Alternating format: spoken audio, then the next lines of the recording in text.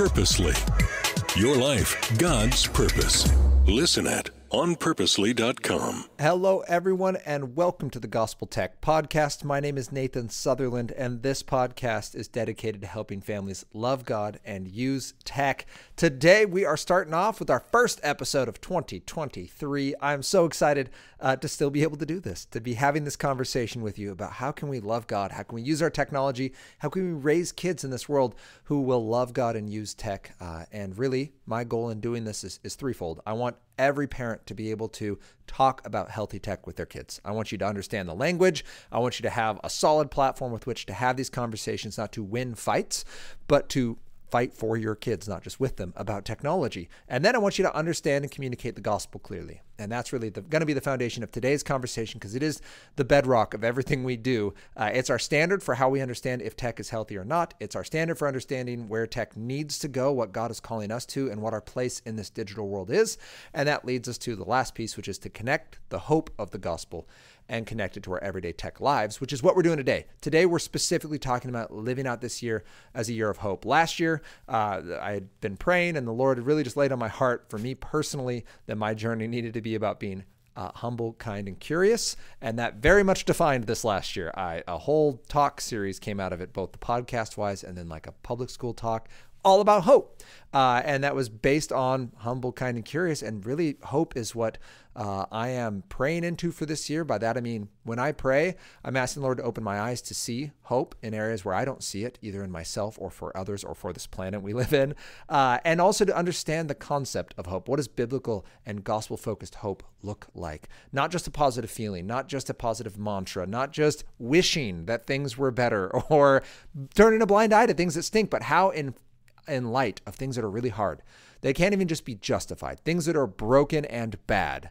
Things like death, things like sickness, things like uh, like eh, all the things we're seeing wrong with the world that are done sometimes even on purpose. What what do we do in light of that? How do we have hope? I can't just explain it away. I can't just go, well, God's good and kind of laissez-faire this thing and figure like it'll it'll work itself out. It doesn't really bother me, but like when it bothers me, how do I have hope? And that's where we're taking today's conversation because that's what I want you to parent from. Uh, so my hope in talking about hope is to point our eyes back to Christ and to talk about the three ways uh, that that does impact us. So thank you for joining me for this conversation. Thanks for being a part of it. And with no further ado, let's get this conversation started. Welcome to the Gospel Tech Podcast, a resource for parents who feel overwhelmed and outpaced as they raise healthy youth in a tech world. As an educator, parent, and tech user, I want to equip parents with the tools, resources, and confidence they need to raise kids who love God and use tech.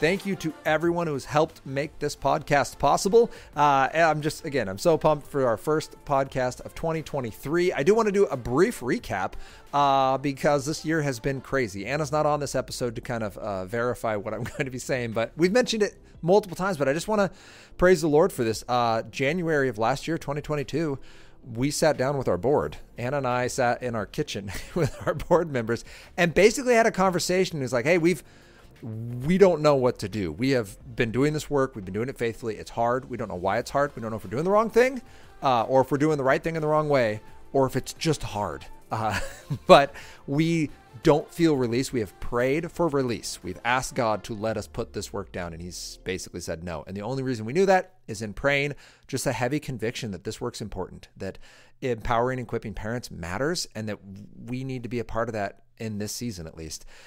And we didn't feel comfort with that. We didn't feel peace. And we brought that before the board, and it was not like a fun go getting high five meeting. Uh, it was pretty heavy. And uh, I only tell you that because the Lord, uh, the faithfulness of the Lord, the Lord's goodness did not just dissipate after that. Uh, his heaviness of conviction didn't leave, but we were struggling. Ann and I in communication just with one another. When you're frustrated with your job and yet you feel called to that job and you both are on the same page with that, it wasn't just me telling Anna, "Hey, I need to do this. Come with me." Like we we understood that this work was in a season we were called to be in eh, for however long. We didn't know if it was days, weeks, months, or years. but uh, what we've been able to see in this last year is that the work has not gotten any easier. Uh, but the Lord has kind of lifted a little bit of the, the darkness we can see in front of us enough of how this is impacting some families uh, and how this is helping real life parents parent from the hope they have in the gospel, not how they can fix their kids in the world of technology, not how we can start some kind of battle against uh, video games or smartphones or even pornography, things that are definitely evil, uh, specifically pornography. Smartphones aren't definitely evil. They can be really distracting. But in the area of pornography, like we are against that. But that's not actually what we're called to be against. We're called to be for something. So we're for the gospel. And because of that, we become against things like pornography because those are distortions and lies of God's plans and God's truth. And out of that, we have a lot of hope. Uh, it doesn't mean it's easy, but it means we're starting 2023 uh, with a, a, clear reminder of the work God is doing uh, in us, yes, but well outside of us. A lot of the angst I feel is like, man, I should be out there doing that other thing because, man, that, that's a need too. I need to be reaching those kids. I need to be uh, speaking these truths. I need to be giving this other talk. And that's all stuff I'm passionate about, but I'm not pursuing my passion in this. I'm trying to prayerfully and intentionally pursue God's will, uh, God's good, perfect, and pleasing will. Uh, and what I want to make sure I'm doing in that is that I'm putting my ideas, intentions, and excitement aside, my very ADD personality, uh, and instead prayerfully asking God, what, what do you want me to be doing? How can I be faithful in this season? Is this still being faithful? I know it's good, but is it what you have for me right now? Uh, and understanding Ephesians 2 1 through 10, we talk about this a lot, but the idea is that we are sinners starting off. Uh, we're saved by grace and that that isn't just for our salvation. Instead it's also for the good works ephesians 2.10 tells us that we're, we're called to do. Uh, and those good works are going to have to do with the great commission. It's going to have to do with making disciples. It's going to have to do with telling all nations. And it's going to start with whatever garden god has planted us in that image that jesus gives of being a mustard seed the kingdom of god. It's a mustard seed cast into a garden and it becomes the biggest plant. That idea that we are cast into these gardens where you live. So i'm going to say your family if you were married uh, it's your spouse. If you have kids, it's your kids. These are the first person people you need to love by serving and love by repenting to. And then it's your coworkers and it's the people in your church community and it's the people that live next door. These are the people God has put you around wherever you live on the planet. These are the ones that you get to be salt and light to. And then sure, you get to be in your city and in your school district, right? These are things you get to serve in and you get to show the gospel in action. Yes, through correct doctrine, that's great. But remember that the Bible exists because it's already true. Like before the Bible existed, before it was written, before it was canon, God was still God and all these things were still true. Before Abraham met God, God was still true. Uh, and people were still called, and he was still revealing himself through sunrises and sunsets and rainy seasons, and idolatry was still wrong. Like all these things were still true. And the reason I cover any of that is because when we talk about our hope today, we're not talking about, well, once we get certain things right, uh, we really need to get one thing right. And that's where are we setting our hope? And when I talk about hope, I mean a reason for today and a purpose for tomorrow. I'm talking about what what got you out of bed today. Uh, and what are you looking forward to tomorrow? It's great to have anticipation, but there comes a time in my own life. I will give examples. I was talking to, uh, about my, this today with my boys. Uh, we get excited, in, like in Christmas, right? We look forward to the celebration or the food or the games or the presents, right? The time off, the sleep, whatever it is that we're excited for. That's great. And then as soon as that thing happens, we usually set the next thing out there. And actually, you'll watch TED Talks and stuff where people are excited to give you the advice of just make sure you always have a next thing to look forward to. Just make sure your calendar always has that next trip, that next time when you get your time, your next hobby, your next whatever your thing is, just make sure you got it out there so you always have that next thing you're looking forward to. And I'm here to remind you and me that that is not the hope of the gospel. The hope of the gospel isn't just distract yourself enough with things and stuff and achievements and goals that eventually you won't feel the emptiness. Instead, it's let's peel back the emptiness. Let's soak in it and recognize that we don't have hope on our own, that our strivings one day will cease and it'll all come to naught, um, except those things that have been established by God. Uh, and that this is important, even when beyond the point of salvation, we're talking works that have been established by God uh, that we can then partake in and we can be blessed by being able to see God work in ways that we are way too small to be able to see happen. So when we're talking about today, that was our update. So uh, to recap, because I got excited. Uh, to recap, 2022 was hard and we can see God's faithfulness. And in that faithfulness, I can see hope. This idea that there's a reason for today and a purpose for tomorrow, and it comes from the gospel that we are called from sin to life, and in that life called to good works. This is for you and me and everyone who will bend their knee and repent. That is what we have to do is we have to trust and follow Jesus. So when we talk about hope today, there's three things. First, I want to remind us that God loves our kids, so we can parent from hope in a tech world, not for hope. We're parenting from it. It's really important. That's why this is gospel tech. The second is that God loves you and me, that that is the foundation point of the gospel. And the third is that then, because of those two things being true, um, our hope isn't because things are going well. It's even there when things are going badly. So, first, let's remember that God loves our kiddos. Uh, I can feel intense anxiety about my kids and whether I'm doing a good enough job. Am I raising them up in the way they should go? Am I handling the scriptural part of their upbringing well? Are they kind enough to strangers? Are they only kind because I'm being so harsh that they're they're just pretending really well? Like how do I know their heart is actually soft and they're not just putting on a show for dad? Uh, I can see this sometimes, right, where uh, they'll be mean. So one sibling might shout at another sibling because they got frustrated with them and then they'll realize that they're inside and then I'm probably in the other room and it'll be like a long pause and then like a subtle correction like a sorry right? But it's definitely not heartfelt. Like you can tell the calcul- calculus was done and they'd better throw out a sorry before dad walks in the room right? Like that was the not that I will but you can tell the math is going on and that hurts my heart and then I start to feel anxious but man do my kids am I doing enough right all of us have this. Some of us know for a fact that we've done enough and it's still not working. We our kids aren't repentant. They're not loving God. They're not operating in God's will, and that can make us feel anxious. So I want to tell you right now that God loves your kiddos even more than you and I love our kiddos. Um, there are three things that I want us to do from hope, because we understand that this is true like we understand that that's factual we can find the verses where that we can support that i really want to encourage you in three ways first i want to encourage you to pray for your kids. Uh, and I want to pray for my kids this year out of this hope. And I'm not just praying that they'll be safe because there's so much more for them in this life than just being safe and happy. Uh, I want them to be in God's will. And by that, I'm going to I'm going to go ahead and grab Matthew 6, 9 through 15. This is what we like to call the Lord's Prayer. And specifically point out that Jesus says, uh, when, as he's praying, Your will be done on earth as it is in heaven.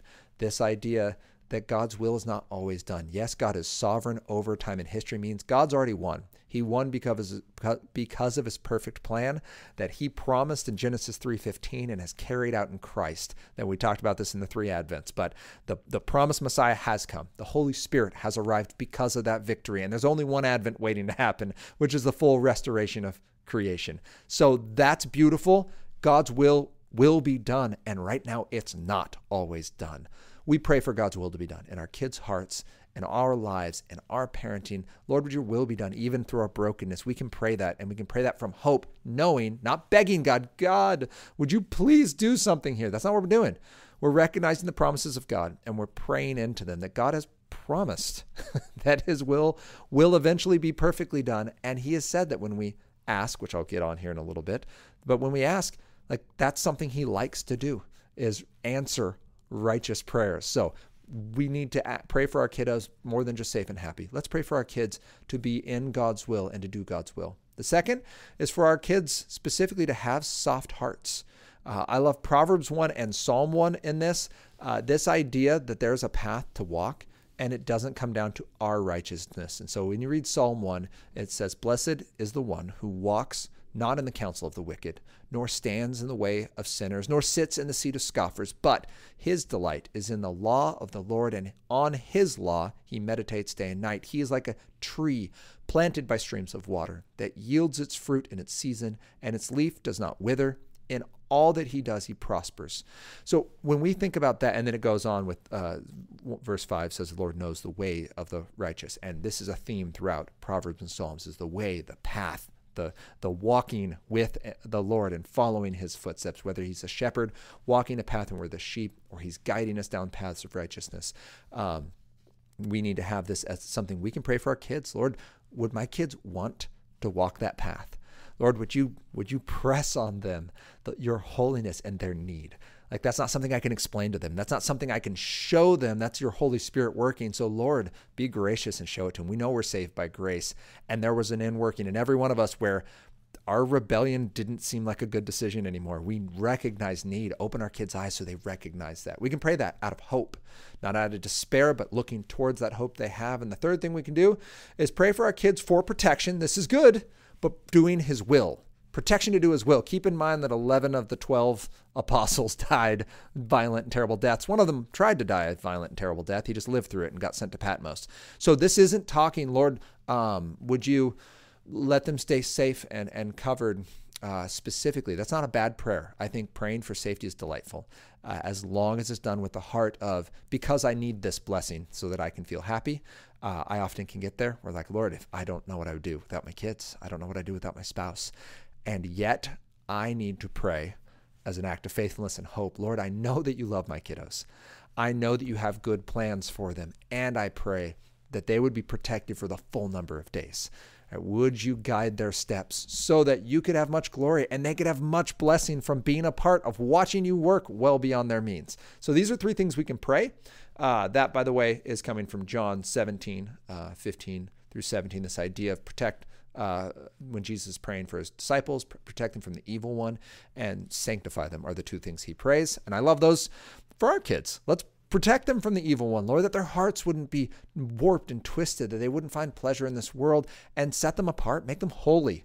Set them uh, not for their own good, but for your good, Lord, uh, which we know has their good in mind. And so, those are three things we can pray for our kids to do God's will, to have soft hearts so they want God's will, and to have protection in doing God's will. Uh, that they, their time would not be cut short. They'd have the fullness of whatever days God's got for them, uh, knowing that this life is but a, a uh, a brief introduction to the eternity we have with Christ.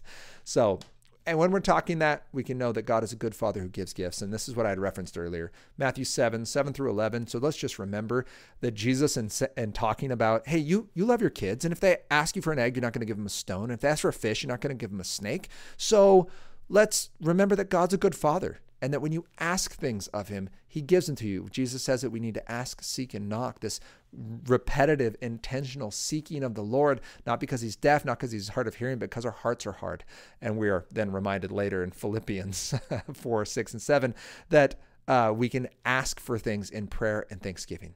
James actually goes so far as to remind us that when we don't get what we want, it's because we're asking for it selfishly or to use it wrongly, that our hearts aren't in the right spot, and God's going to graciously uh, disallow such blessings to make sure that we're not hampering uh, or hindering our ability to serve and, and love God. So, in this, that Philippians 4, 6, and 7 saying, in whatever we pray, whatever you're asking for your kids, in light of the gospel, this idea that God already loves us, then we need to recognize that we can prayer or pray, excuse me, in thanksgiving. We give thanks to God for what He's already done, and we put our supplications before Him and say, And Lord, this is a need. Uh, would you provide for it? Would you be bigger than this situation? Uh, or even, I know that you are bigger than it. Uh, this is, oh my goodness, Jackie Hill Perry said it. Uh, not, not even praying, God, would you be present in this? Because we know that He is. It's just like a bad habit. It's like asking God to bless this food to our bodies. Like, that's what food does. It blesses your body. So I get it. It's a habit. I do it all the time. Jackie Hill Perry's challenge was instead of praying, Lord, would you be present in this? Uh, it's would you make yourself known in this? Would you help me see you in this? Because really, it's a me issue. You're already here, and I get it. That's why I'm praying. Uh, what I'm asking, Lord, is would you would you show yourself as as real in this situation, uh, so that my faith would grow because I'm weak in it. Uh, so, which brings me to the second point: is we recognize that God loves us, or excuse me, our kiddos, but we also need to recognize that God loves us. Uh, that this is a big deal when we talk about gospel and using technology well. We're not going to use it out of fear uh, because we're not running away from our problems because we have hope in Christ, but we're also not using it to constrict our children, where we're just trying to crush them and make sure they never make a mistake so that they'll be holy by our effort. Instead, in hope, we're bringing them to the feet of Christ and we're praying and we're repenting and we're reminding ourselves of what is already true in Christ. And part of that is recognizing that God loves you and me. It's used on, uh, I don't know if it's ever used enough. It's certainly become something that is habitual for me. John 3:16, where I start to almost forget what it says uh, as far as like what it means that God so loved the world that He gave His only Son. And in fact, if we go a half verse uh, in front, it says, uh, And as Moses lifted up the serpent in the wilderness, so that uh, so the Son of Man will be lifted up, that whoever believes in him may have eternal life. For God so loved the world that he gave his only Son, that whoever believes in him should not perish but have eternal life. And it goes on to say, God did not send his Son to condemn the world, but that he might be sa- it might be saved through him. This being said, God loves you wherever you're at. You may not be a follower of Jesus. God still loves you. Jesus already died so that you can know God and be indwelled by him. But it doesn't happen against your will. Uh, and that's really important because God is instrumental in bending your knee and in changing your heart. Uh, but as we saw with Judas, as we see with Pharaoh, as we saw with Pilate, as we've seen repeatedly throughout history, people have the opportunity to uh, to refuse and we don't exactly know what that looks like on a spiritual level. I'm not going into uh, that rabbit trail. What I want you to know is that we are told repeatedly, continually, thoroughly throughout the Gospels and throughout Scripture, Old and New Testament, that God loves the world and is long suffering and slow to anger and rich in mercy, and that whoever repents and believes will be saved. That this is a loving promise to you believer or pre believer, that you are called into this relationship and offered it. And I can't promise you how long that will be. And I can't promise you that when you say no, that you'll get another yes.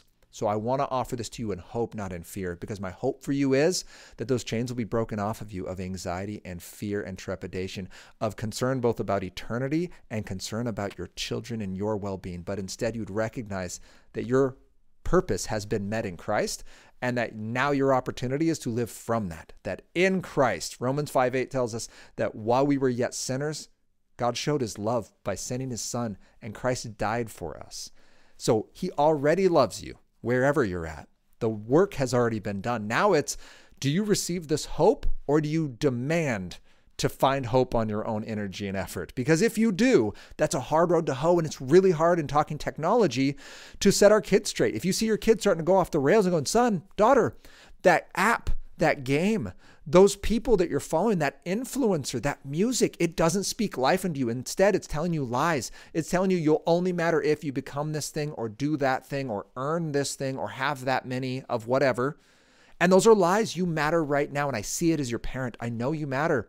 And your kid looks at you and goes, Yeah, but why? Like, I, if I'm just some kind of cosmic accident, then none of what you're telling me is true. Like, I have to make my own destiny. I have to determine if I matter or not. And it's a ton of weight for a young person to bear. And they're asking these questions. As a parent, in light of the gospel, you can say, Yes, son or daughter, I love you though, because you're my son and daughter, just like God loves you because you're his right? And that is what we want to be able to tell our kids and pray for our kids, even when we don't have the words in our own quiet space, to ask the Holy Spirit to remind us what that even looks like to parent from that. And to know that we have to love others like we as we love ourselves, love our neighbors as we love ourselves, which means we have to understand the love God has for us before we can extend it. So when we love, it's because we were loved first we got to understand God's love for us. So that's the second part about hope today is we have to be living from a place of understanding we are already loved. If you feel um, like your sin is defining you, uh, that your mistakes are are not just describing your journey, but they are the definition of who you are. That you are somehow damaged goods or spoiled, uh, and in the not the too much taken care of, but in the way that you're no longer beneficial, that you missed your prime, that the boat has sailed, that something that your purpose has been missed because you just didn't do something right. That's a lie because God says otherwise. God says, in fact, He'll take whatever days you've got left and He will use them for His glory, but they have to be given to Him. You can't keep running with this thing and asking God to just simply join your team or join your mission or join your vision. In fact, you may have to backtrack because that whole concept of Proverbs and Psalms where you're walking the path, you don't get to just run off into the woods beside the path and ask for God to make a new path. Like God has a path. That's his sovereign will piece. Your choice is simply will you follow it by his wisdom, not yours. And so the first piece, we're going to love our kiddos because God loves our kids even more than we do. But we're God's kids too. And he loves us, and we need to parent from that hope. So, my prayer and my hope in saying this today is that uh, if you have a hard time believing that, that you'll take a moment today, maybe pause the podcast right now, uh, and simply pray, Lord, Help me see your love for me. Lord, thank you for loving me. I, I repent of running on my own will and my own effort, and I'm tired of it. God, can I live for your will and your purpose? Um, and that that's the beginning. Uh, there's no one perfect prayer. That's not a salvation prayer. It's a prayer of repentance and asking for the wisdom to believe.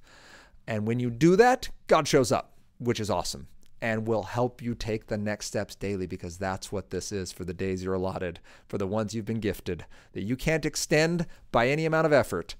You can prayerfully use to God's glory and understand that you're living from the love He already has for you. Because of that, then, then we're not just going to have that hope, that reason for today and that purpose for tomorrow when things are going well, when things are easy, or like when, you know, we avoid trouble. Like that's all great. We love those seasons in peace. Right now, Anna and I are in an amazing season. Uh, and by right now, I mean in the last six months, we, well, I guess we have two out of the three. We haven't had health. We've been sick for like eight straight weeks, which is gnarly. But that being said, I mentioned that kind of veil being lifted for a little bit where we can we can see some light that God is doing work and that we're not making this up and we're not just running blindly. Uh, we've been able to see God provide in ways that just we can't provide whether it's financially, which is great. We're like, that's awesome, Lord. We don't have to sell our house to keep doing this work because we don't feel this lifted. So we got to keep doing it some way. So that's been cool. But way more importantly is just the relationships, the people praying for us, the people who come out and say, hey, this is how God used this thing that you're not nearly smart enough to do. Uh, and it's blessed us in this way that you had no idea was even a circumstance. Uh, an example being a, a pair of parents coming and saying, We have been working with a young person or one of our children, uh, and the skills that you are giving us with these conversations have empowered us to parent this child lovingly. And we have seen heart change because of that. That's not because Nathan is smart enough or Anna uh, had all the words. We're simply prayerfully speaking what God has laid on our hearts, and we're praying that God will use that to challenge and encourage others. So, uh, in that, with that in mind, we're not just going to have hope when things are going right. When our health is well, that's great, but that's not what gives us hope. Our hope, our reason for today, and our purpose for tomorrow isn't I have a purpose as long as I'm healthy. I have a purpose as long as things are going well for me or as long as I hit certain marks and numbers. Instead, we set our hope on a who, not a what. Uh, and this is a this is a beautiful Tim Keller illustration that our that what matters when it comes to hope and to faith specifically is the object of our faith, not the amount of faith we have. So uh, the example being, if I'm going to go stand on a tree limb and walk my way out, it doesn't matter. Like being on the tree limb is all the faith I need. I don't have to start jumping or doing backflips. Like standing on the tree limb is the faith. What matters now is how strong the branch is, or walking out onto a frozen lake.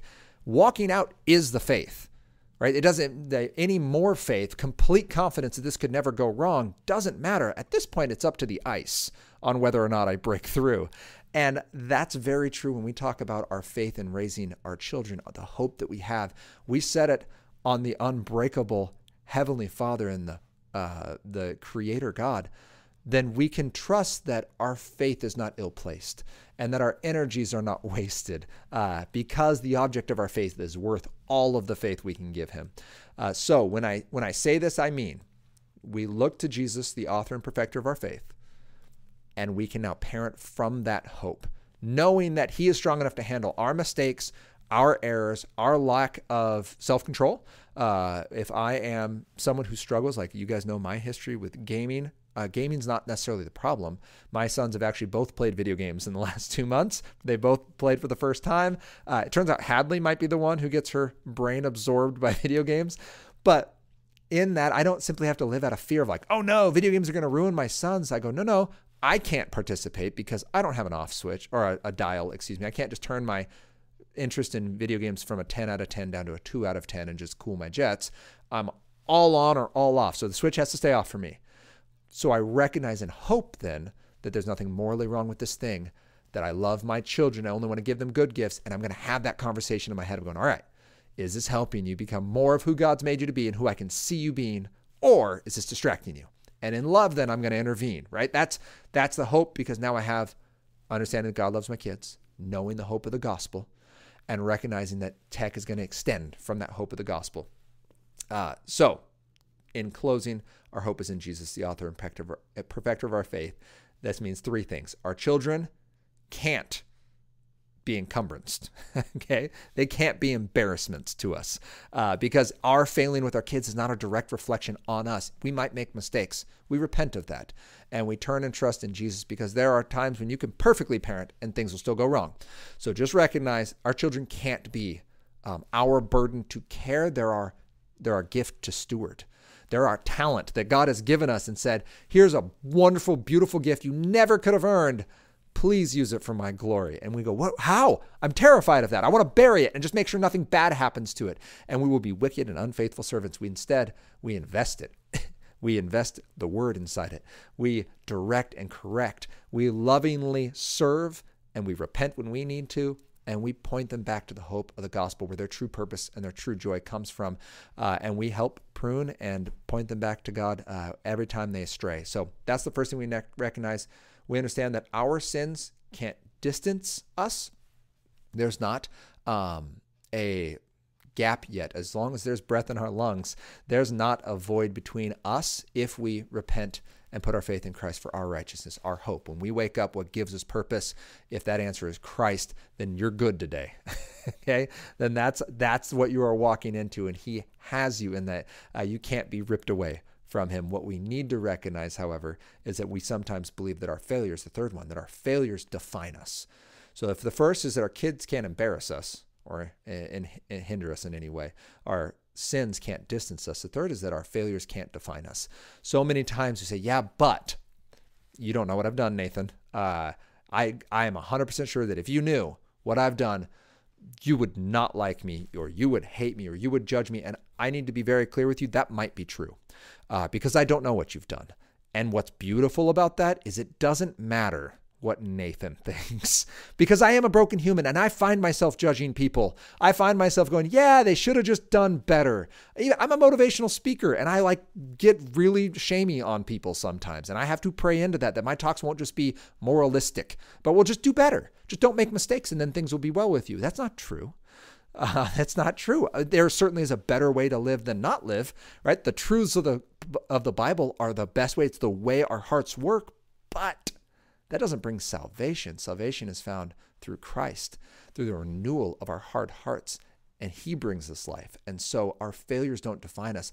I'm not the sum of my errors. They describe me, though. I certainly can choose a hard path, and that is true with us. So our choices, when we think about hope, we need to recognize that today we can trust and follow Jesus. I would simply ask that today, do you trust and follow Jesus with your time, with your efforts, with your tech and your search history, with your parenting and the, the way you serve and talk with your spouse? And if you don't, I don't, I'm not saying you're not saved. I'm saying repent and believe that God is better than your own effort and in that repentance, seek the wisdom and counsel of others, seek professional aid and care, seek just the metals, medicines for your mind and soul that are available because of God's gracious wisdom that He's provided people. Please go seek the help you need. Do so in a loving Christian church setting with a family of believers around you. Please stop attending church on the internet in isolation. I know some of you are medically, um, what we say, compromised, where you can't be in crowds right now. I get it. I understand that. This isn't for you. This is for people where convenience is trumping commitment and you have to join a believing church body. Go somewhere that preaches the Bible, go somewhere that worships the Lord, go somewhere where they push you back to the feet of the cross and in that setting repent and belong and dig deep roots. You I'm not saying you have to agree with all their secondary issues. Uh, I have lovely people in my life who have attended churches for decades where they, the church loves Jesus, but there's secondary issues they disagree with, and, and that's okay. I'm not saying find the perfect church, it doesn't exist. The perfect church won't come back until Christ restores creation and then runs this as a beautiful and loving king. Okay. Until then, the church is broken people who need a savior. That, that's the definition of the church. It's not a building. So, uh, today, do you trust and follow Jesus? Is that who gives you hope and purpose? And from that hope, if he does, then we love our kids. Because from that hope, we can talk about healthy tech because tech is no longer what defines us. When our kid messes up, it doesn't define me. It, it describes their heart condition, and I need to help them redirect it with some really intentional steps. There's ways to help our children have healthy hearts, right? Keeping hard or bad decisions, making them harder to make, is a loving parental thing to do in light of the gospel. Then being able to communicate the gospel to myself, to my spouse, to my kids. That's really important to know that I am loved despite my sin, that it doesn't describe me, it defines, or it doesn't define me, it describes me, that making a mistake doesn't make me a mistake. And then knowing that in light of the gospel, I already have fullness in Christ. So I'm not going to like, oh man, 10 years from now, once I'm finally a good believer, then things will matter. Nope, you're saved for good works now. And some of those good works are loving your kids, loving your spouse, loving your coworkers and your neighbors in the garden that God's planted you in. So, my hope in sharing all of this is that 2023 is going to be a year for focusing ourselves on the hope of the gospel, turning our eyes away from the crazy waves that are happening out there in the real world, not isolating ourselves. We're not saved from the world, we are saved for it. Jesus even says uh, in that prayer that I, where he prays for his disciples, where he says, Lord, would you protect them? He, specifically says, don't take them out of the world, right? Don't, when people believe, don't just draw them into heaven. We need them here as salt and light, and yet protect them from the evil one. Protect their hearts from getting cynical and hard and bitter and just wanting to win at all costs because we know in light of the gospel, Jesus has already won. That victory is not ours. That is Christ's victory. We can live it out, we can walk it out, sometimes to our personal destruction and ruin, sometimes to beautiful peace and calm, if that's the season we're called to, which is awesome. But recognizing that peace and calm is not what we are called to, right? That's not that's not this life. We're praying that God's will is done. So we can now love our kids because God loves them well. We can recognize that we can love others because we're already loved. And we can remember that we're not defined by our journey, we're described by it. Uh, and in Christ, we are already whole and well. So we will use our tech from that space, connecting the hope of the gospel to our daily tech lives.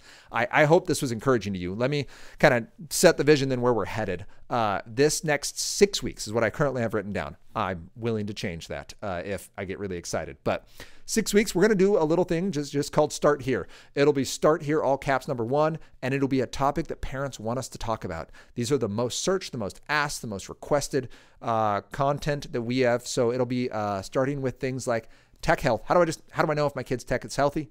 Hopefully you go, oh man, I already know that. Cool. Then you've heard it enough. Pass it on to a friend. Not everybody knows this. Uh, we're going to talk about adopting new tech, how to build tech trust. We're going to talk about smartphones and social media, video games, pornography. Those are our six weeks.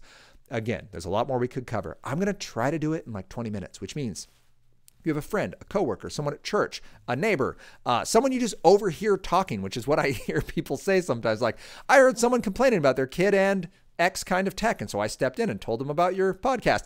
Super cool.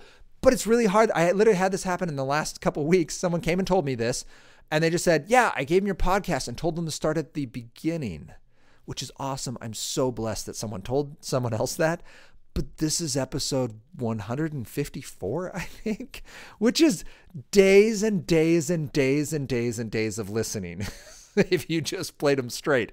So instead, starting this month and continuing into February, we are going to begin this start here, 20 minutes. Give them the, hey, start here on social media. Start here with smartphones. Start here with, and it's going to basically be the condensed version of all these content, uh, all this content that we've been covering, so that you don't have to remember the specific episode number or go find them that one 45 minute thing uh, like this one.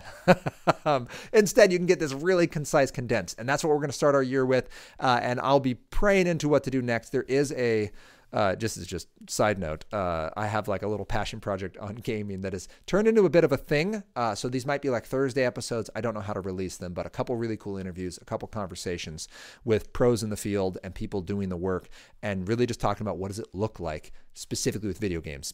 I think it's because it's such like a thing for me that like these conversations bubble up, but there's six of them uh, that will be coming. So I don't think it'll be six straight weeks. I think it'll be a mini series thing, but just so you guys can kind of know the vision, the direction we're going, uh, that I am and Anna, uh, we, I guess, are praying and intentionally planning for how to support. Uh, we're doing those live talks and workshops. I guess that'd be the last thing. If this conversation about hope in the gospel uh, in a world of technology is something you want for your church, your co op, your private school, your Christian school, please reach out to me, Nathan at gospeltech.net, or go gospeltech.net and click speaking. Uh, I guess I'll, I'll end it there today, guys. Thank you uh, for being a part of this conversation. Thanks for sharing and listening. And would you please join us next week as we continue this conversation about how we can love God and use tech?